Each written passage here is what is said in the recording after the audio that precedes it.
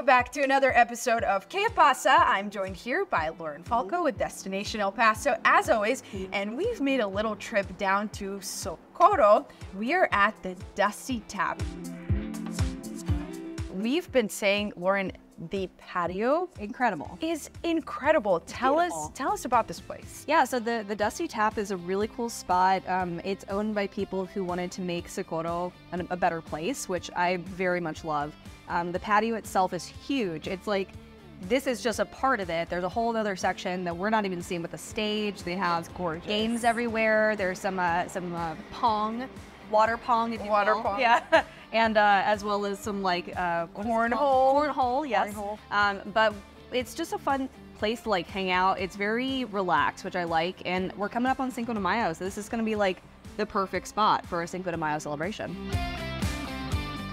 All right, Lauren, let's get straight to it. Lots of musical events um, So in the borderland this weekend. Yes, we're very excited. Uh, Lords of Acid, which is a Belgian American electronic d- uh, group uh, band, uh, it, it's it's just fun music. It's like fun dancing music, and they're uh, going to be at Lowbrow Palace on May 1st. So go get tickets, lowbrowpalace.com. Then at Don Haskins, we have Luis Miguel as well. classic. He's a classic singer-songwriter. I think a lot of people just it's kind of like in that Juan Gabriel like just powerful ballads. Um, and Luis Miguel is just so popular. He's actually doing two performances Oh, at at the Don Haskins, May 1st and 2nd.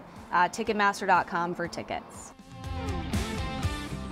It is that time of patios, Mm-hmm. cold beverages, and wine festivals, and we have another one coming up.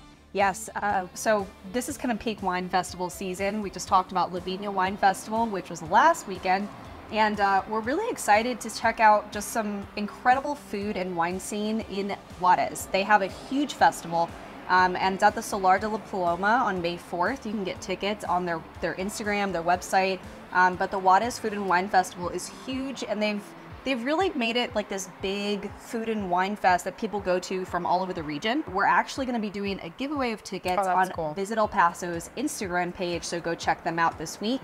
Um, and we're really excited. It'll be fun. Something really special is coming to town to Plaza Theater. Celtic Woman performance. Oh. what is that? So it's it's a four female, four person woman ensemble um, that is all about Irish ballads and kind of like the home country sounds. Um, it's really cool. It's uh, it's been around for a really long time. It actually was originally established in Dublin, obviously, but that's happening May 4th at the Plaza Theater. You can still get tickets at elpasolive.com.